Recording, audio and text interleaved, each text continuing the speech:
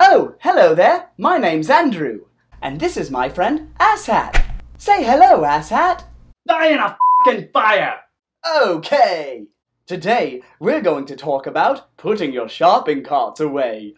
Put your shopping carts away, put your shopping carts away.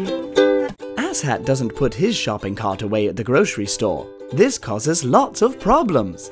Shopping carts left in the parking lot can block parking spaces, and they can damage parked cars.